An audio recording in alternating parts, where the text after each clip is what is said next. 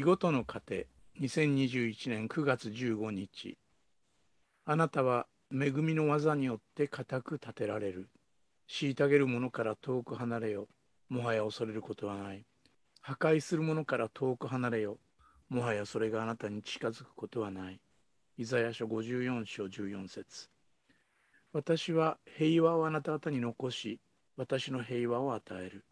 私はこれを世が与えるように与えるのではない。心を騒がせるな、怯えるな。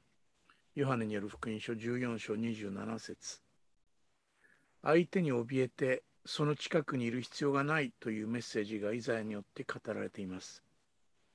補修の身であった状況から解放され、いじめられていた状況から抜け出せるような道を神が用意してくださるのだから、その時が来たら躊躇せず遠く離れようということが語られています。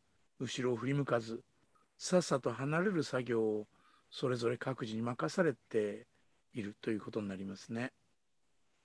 ヨハネによる福音書のこの文章の中にも、心を騒がせるな、怯えるなという言葉が出てきていました。心を騒がせてしまう、怯えてしまう。うんまあ不安に心がこういっぱいになってしまう。